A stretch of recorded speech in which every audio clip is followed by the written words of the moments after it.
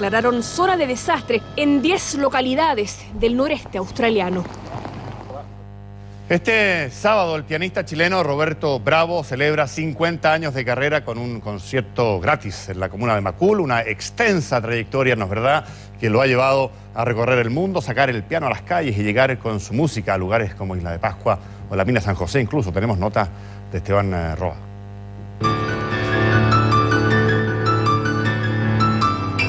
Ha roto eh, eh, esa barrera que de repente existe con la música un poco más elaborada.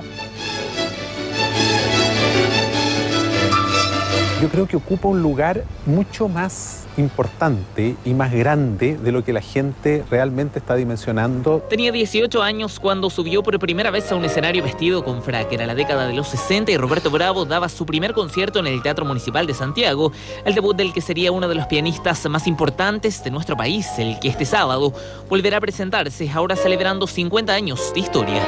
Solo puedo estar agradecido de tantas cosas buenas que me han pasado tantos países, tantas salas, tantos momentos emotivos. Fue el propio Claudio Arrau el que contribuyó en su formación. Ha pasado por escenarios europeos, por Polonia, Moscú, Londres, hasta llegar a Nueva York. En nuestro país sacó el piano a las calles, lo llevó a la población La Victoria, a la mina San José y hasta la isla de Pascua.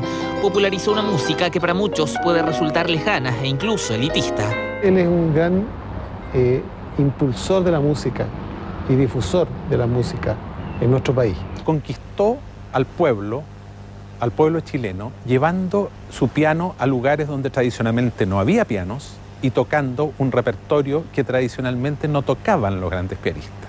Ha puesto una línea transversal entre los grandes escenarios y los sitios populares. Fue en un viaje a Londres donde lo sorprendió el golpe de Estado. Se mantuvo en el extranjero hasta 1979. Yo creo que se produce un cambio importante cuando yo regreso a Chile después de una ausencia de seis años forzada, digamos. En ese minuto entiendo que hay un mensaje para mí en la tumba de Gabriela Mistral, donde dice que lo que el alma hace por el cuerpo, el artista hace por su pueblo. Me pone en el verdadero sentido de mi vida, que es una responsabilidad frente al pueblo de Chile, frente a mi tierra. Fue así como en su repertorio se incluyó la música de Violeta Parra, Víctor Jara, Pablo Milanés y Silvio Rodríguez, hablando de política solo con su piano.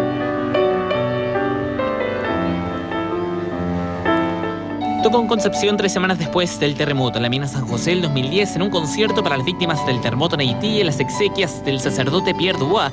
Ha grabado más de 10 discos y tocado incluso música de películas, por ejemplo La de Fuga de Pablo Larraín. Ha ayudado a jóvenes talentos e incluso abrió una fundación para entregar becas, cursos y seminarios. Es una manera de devolver la mano por todo lo que uno ha recibido en la vida también. Una larga trayectoria que ahora prepara su celebración con un homenaje a Astor Piazzolla. Este sábado en Macul será un concierto gratuito donde volverá a sacar el piano a la calle, la misma comuna que lo hizo Hijo Ilustre. El premio más especial es que tú puedas seguir compartiendo tu arte con, con la gente que te expresa su cariño. 50 años de historia que resumirlos en estos párrafos es casi imposible. La celebración de sus bodas de oro con la música que lo volverá a reunir con su público preferido, el pueblo chileno.